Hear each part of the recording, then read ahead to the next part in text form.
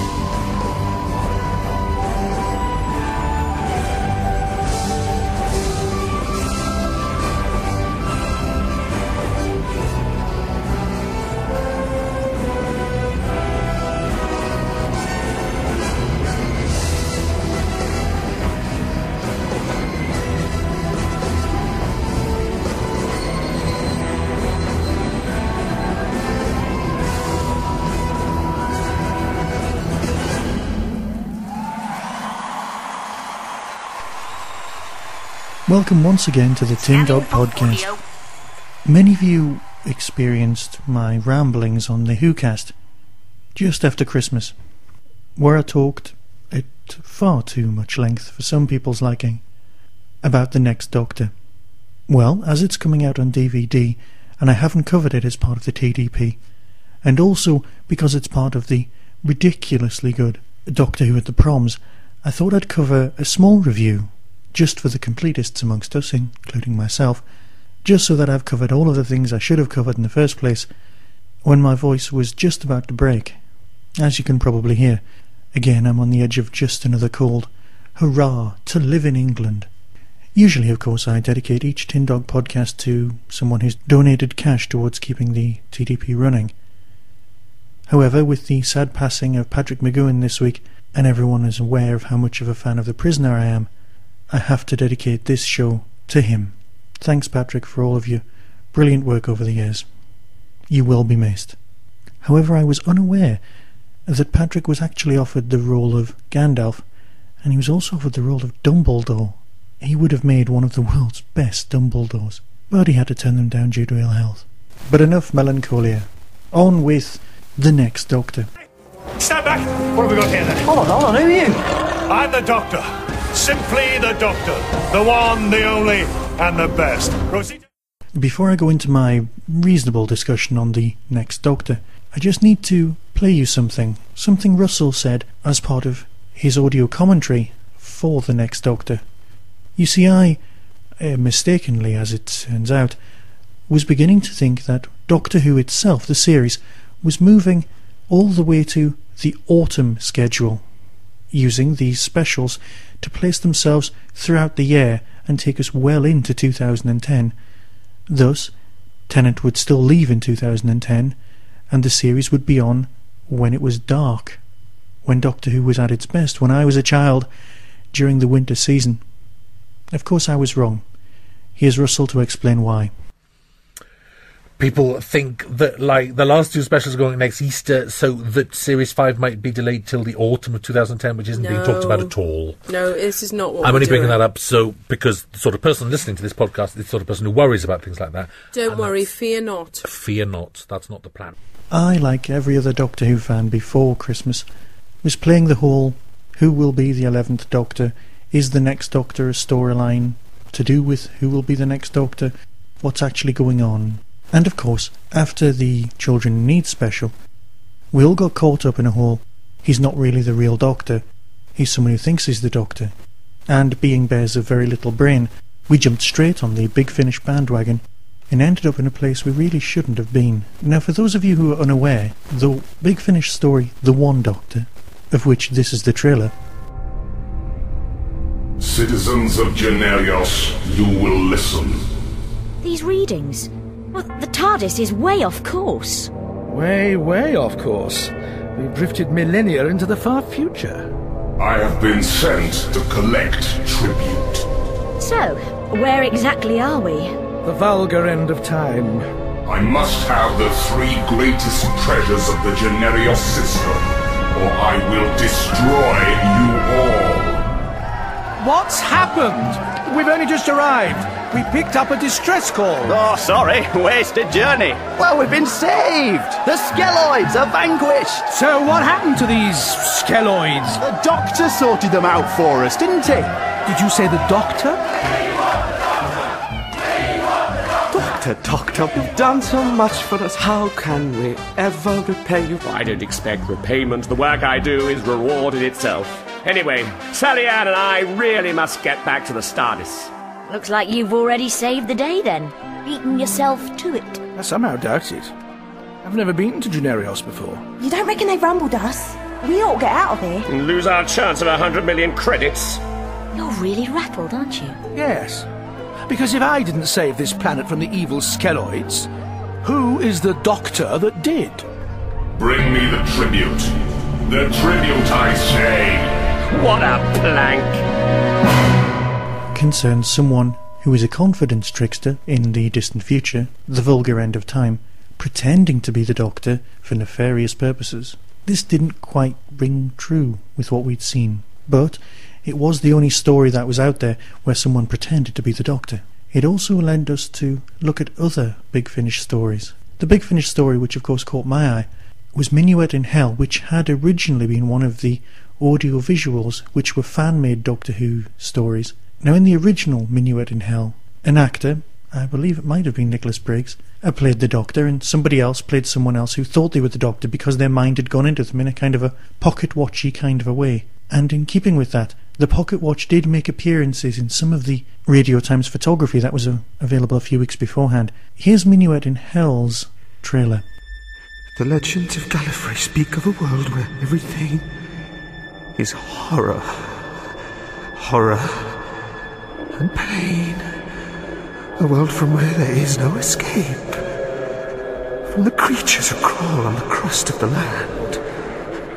Of the lost and the hopeless and the broken and the doomed.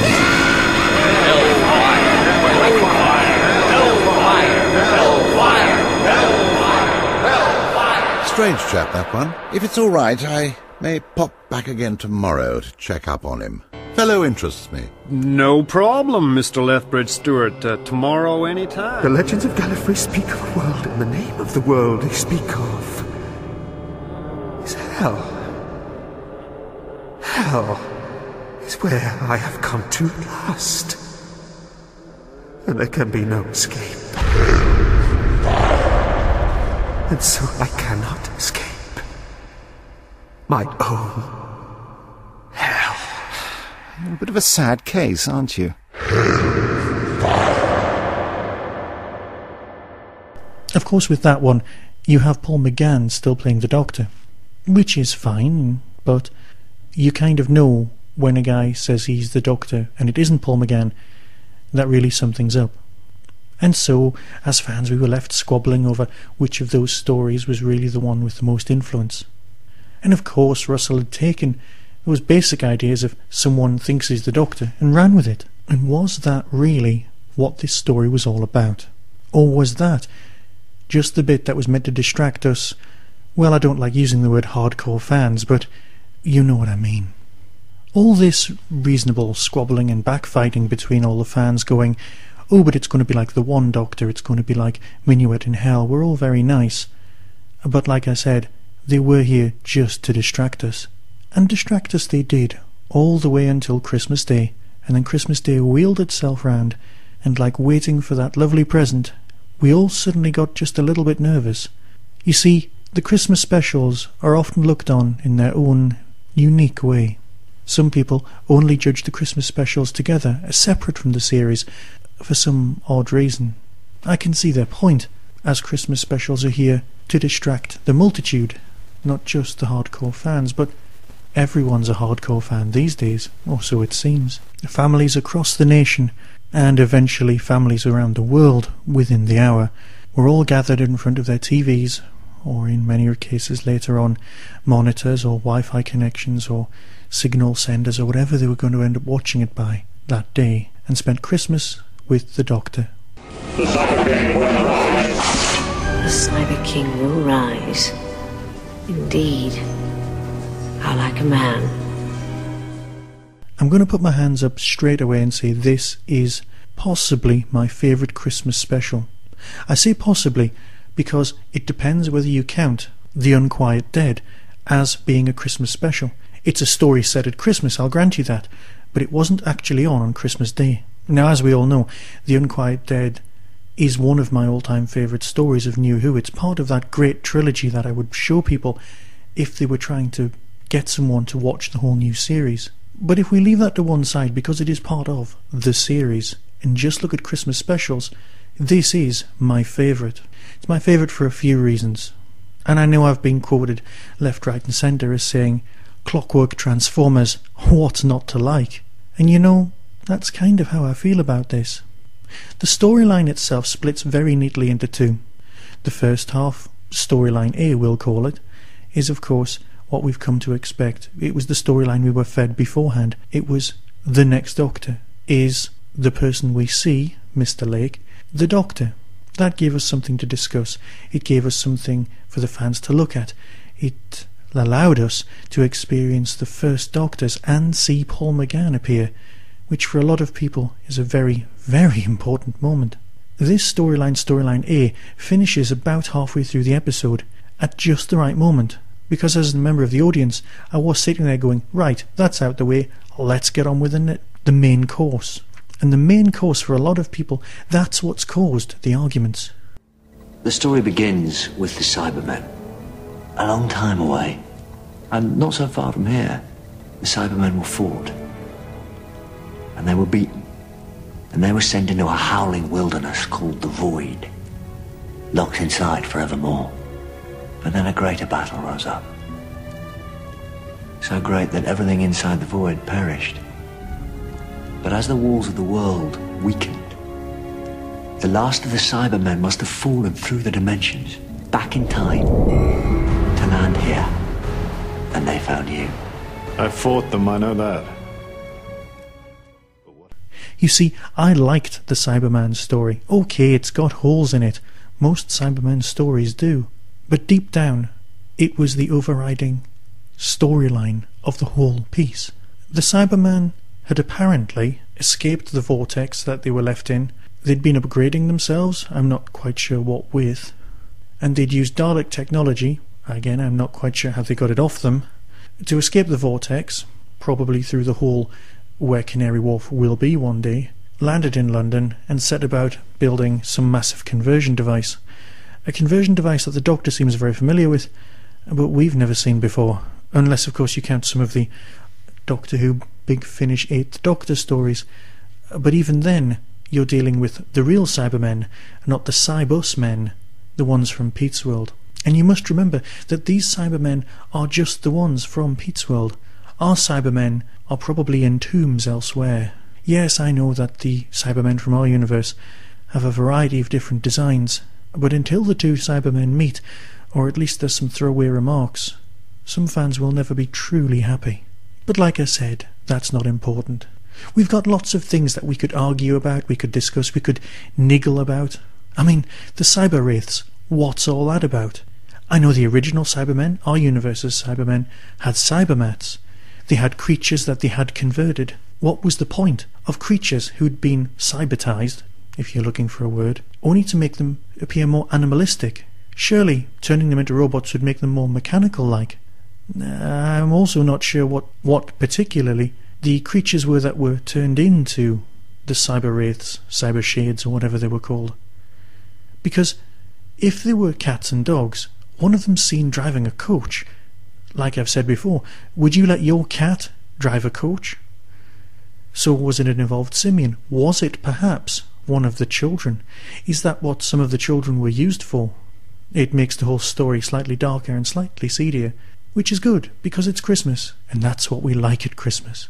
The thing that a lot of people have got issues with isn't that Paul McGann turns up at one point, albeit in photographic form. It's more that the giant clockwork toy, the steampunk Cyberman, if you like, doesn't really fit. It's going around destroying people. The fact that it's built using children, yeah, children, that well known labour force, that's always useful. It turns the whole thing a bit more, well, Oliver like.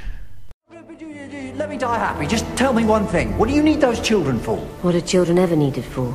They're a workforce. But for what? And Jackson Lake's child, decent enough performance, but was it me or was he wearing more mascara than a panda? These are all small niggles. I like the design, and I don't want to have a go at this episode. Like I said, it's my favourite Christmas special.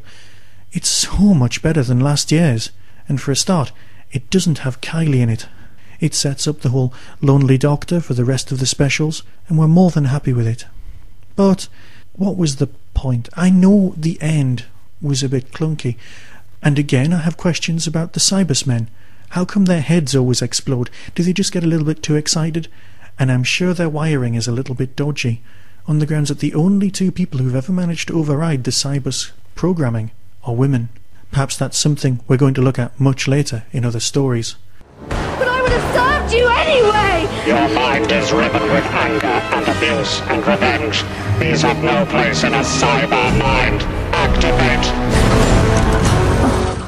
It was nice that the incredibly damaged Mercy was able to infect the Cybermen with emotions.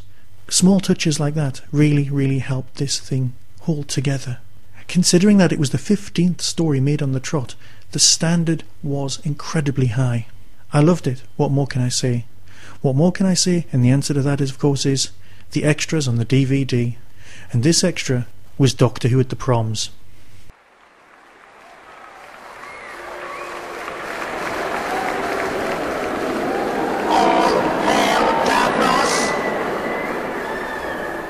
Welcome to my Dalek Empire.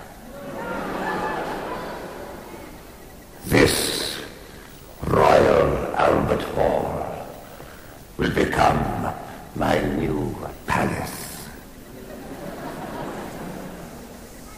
And you humans shall become my obedient slaves.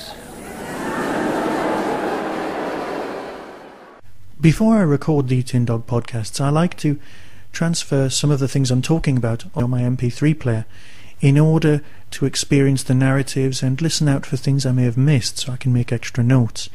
It's one of those little sad things, and I must admit, since it was first on, Doctor Who at the Proms has not been off my player. It's just wonderful to listen to, especially if you have a decent stereo setup. Crank up that volume and just listen to it. You know your favourite bands? Well, you've got series 1, 2, 3 and 4 as soundtrack CDs. They're, say, the studio albums. And this, this is the live concert. And it's a great concert. I genuinely wish I'd been there. How great would it be to experience, you know, Cyberman walking straight past you if you were, say, six? Oh, sod that. Even now. It was just brilliant to watch. It was so well filmed, but the sound quality is just off the scale. I know everyone listens to their own soundtrack albums time and time again. Well, alright, I know I do. But here, and it's only down as a DVD extra, and it could have been released by itself. It's so, so good. So we've got the music that's played, which you're already familiar with, but it, it's all been tweaked slightly so that it could be performed live. Uh, for example, you heard the live version of the Doctor Who theme tune. The only bit they couldn't do live is that first opening sting noise, because of course that exists electronically. But things like a live version of Doomsday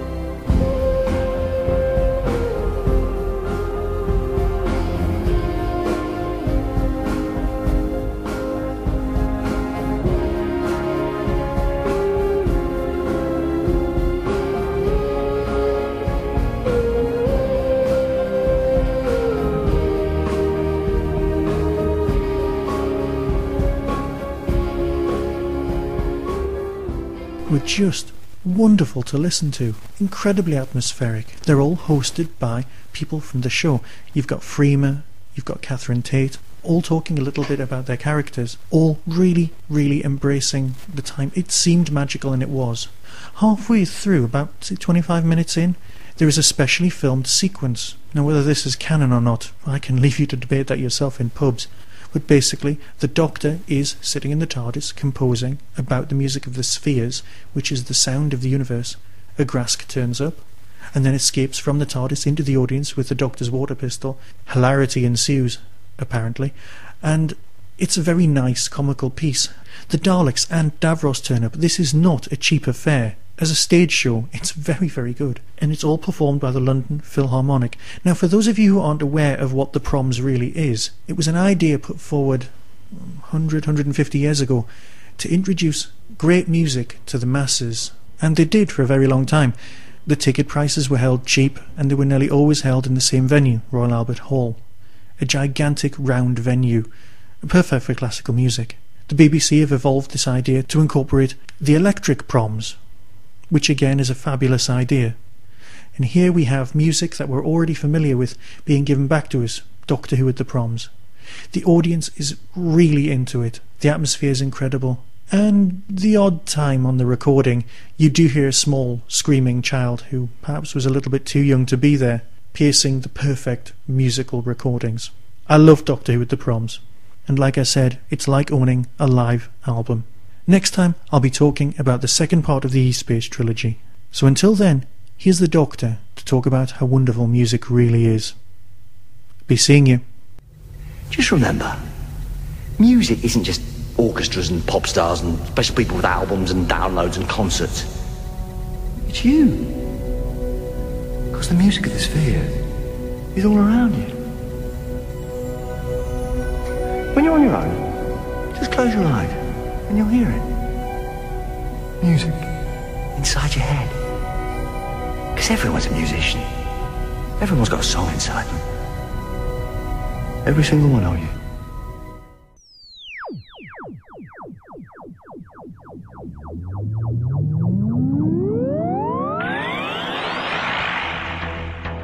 You have been listening to the Tin Dog Podcast. Doctor Who and its associated shows are all trademark of the BBC. No infringement is intended. Contact us at tin-dog at hotmail.co.uk.